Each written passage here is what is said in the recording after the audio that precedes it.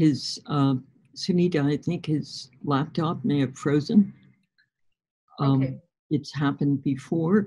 Can you uh, reassure Dr. Torres we will come back to him? And perhaps Yes. we should go on to the next speaker so we have time to go back to him. Absolutely. So our next speaker is Erika Hartman from the Downtown Women's Center. She's Chief Program Officer at the Downtown Women's Center in Los Angeles.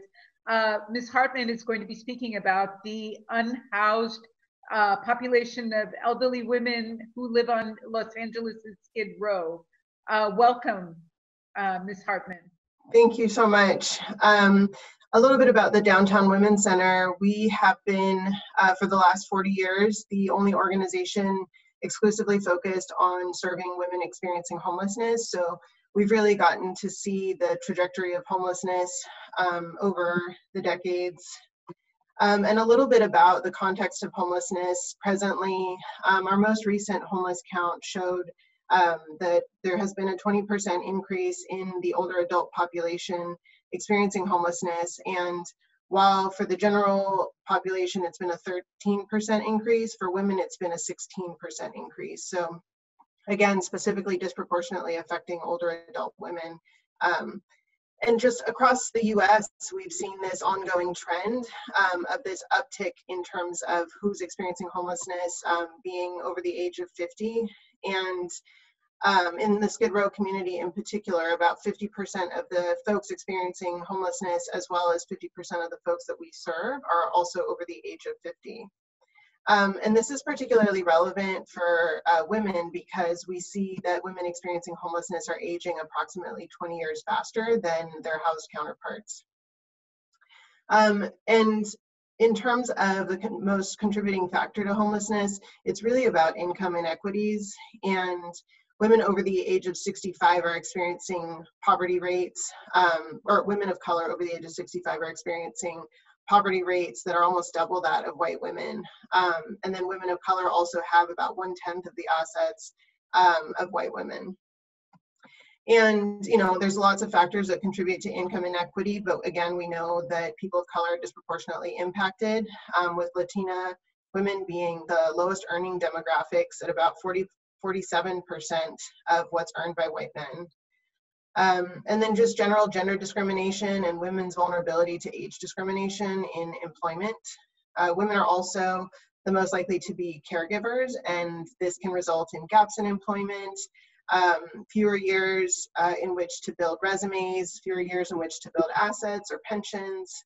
Um, and women with children earn about 28 times less than women without children.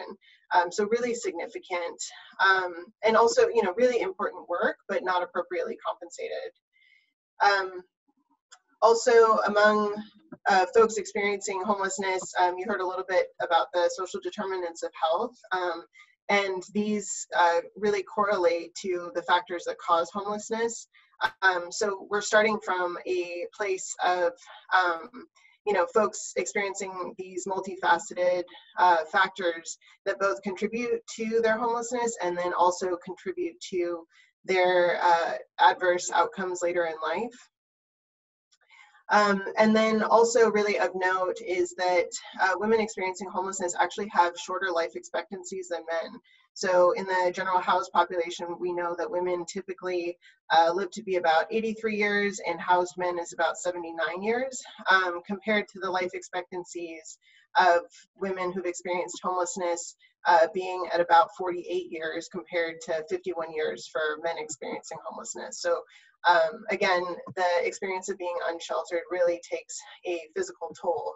Um, also less likely to be able to carry out their activities of daily living.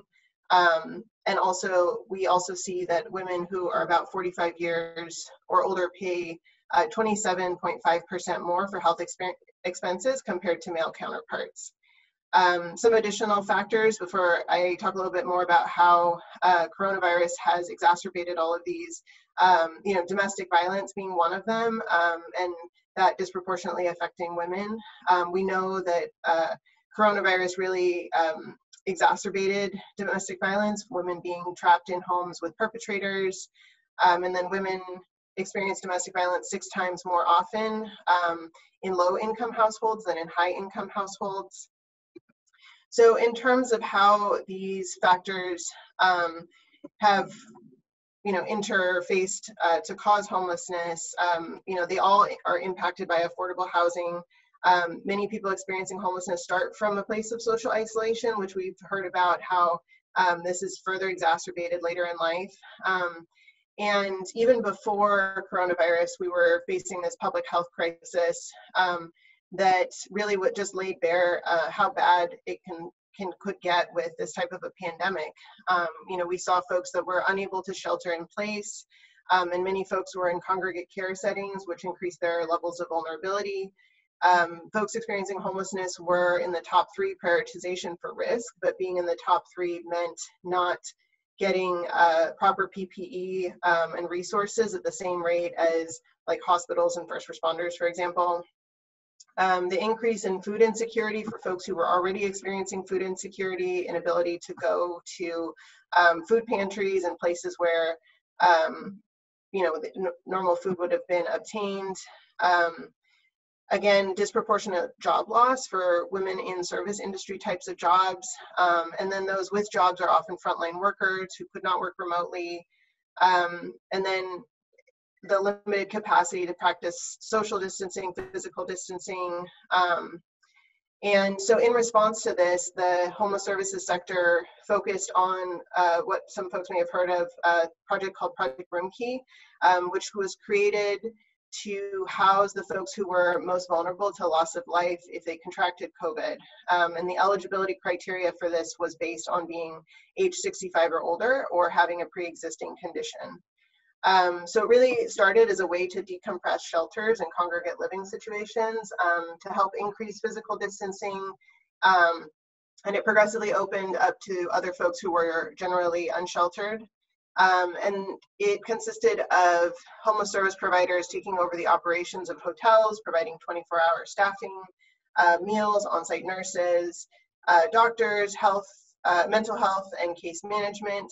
Um, and it was made, made available initially for 90 days um, through FEMA funding, but as the clock has been ticking down, the pressure is really on to house the folks that are um, in room key. So, um, you know, that's really the focus of the homeless services sector, recognizing that this most vulnerable population is going to, um, you know, not have this resource imminently.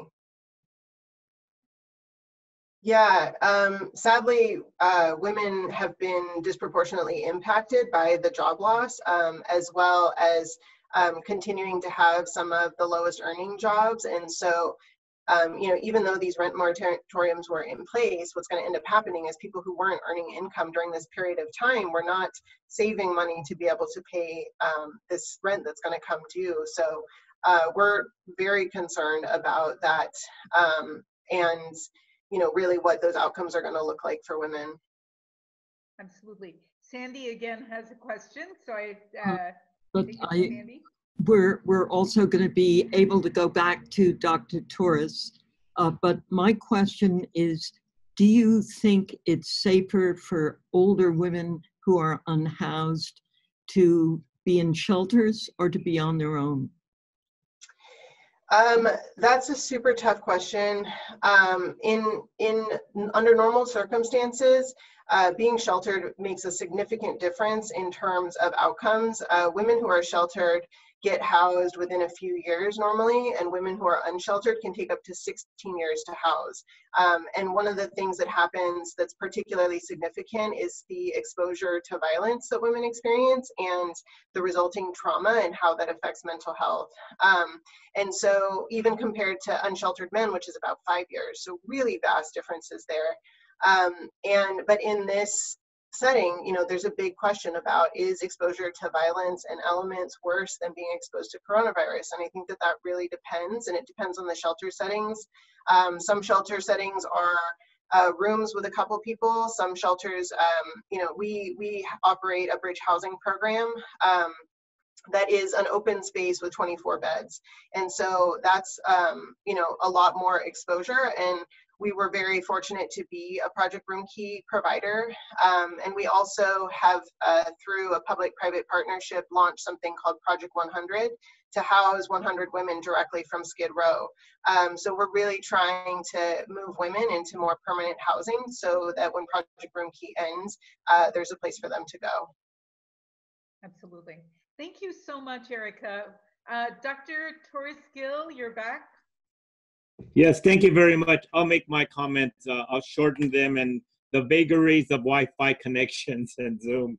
Uh, but uh, in either event, uh, I just uh, want to just raise two key areas in terms of policy and the policy side of what we're addressing. The first, uh, we've seen a resurgence of what we refer to as ageism and ableism discrimination based on age and disability in different parts of the country. And as a member of uh, the governor's master plan on aging, uh, we worked very closely with the Department of Public Health and Aging and the governor's office because initially, a few weeks, as the state prepared for a potential resurgence and scarce uh, medical care and ventilators, they tried to sort out who would get priority if there weren't sufficient uh, medical services. And the initial proposals, to our great consternation, was to, in fact, ration these services based on a point system that would give preferential use for these scarce resources to younger folks, those who were assumed to have a longer life expectancy, and those without pre existing medical conditions. That would have targeted directly those who are older, those who have uh, various types of disabilities, and would have put them at the back of the line, so to speak. A clear example of ageism and uh, ageism and ableism. The good news, after pushing back advocacy, working closely with the governor's office, they completely turned it around, and their new care standards for uh, potential medical resurgence of this virus is to ensure that there is no discrimination based on age and disability. I mentioned that first, it's kind of good news. We're able to turn things around, but also because in this pandemic, as we talk about social isolation and social determinants of health, we have to be very cognizant that there is sadly discrimination based on age and disability, and we have to work against that. Our new front in terms of public policy is working closely with the state legislature, the state senate, and the governor's office. Given the economic impact of the pandemic, uh, the governor and the state are having to face major cutbacks in all areas of social public health and educational services.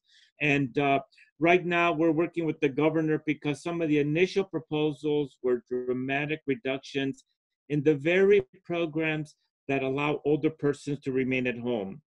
Major cutbacks in in home supportive services, adult day healthcare centers, Alzheimer's support services. And so now our current efforts with our Master Plan on Aging group, with our fellow advocates, is to educate, inform the state legislature, work with the governor's office to minimize the impact on the various home and community-based services without which would force many older adults to go back into skilled nursing facilities, institutional care. And we now know why that is not the preferred outcome.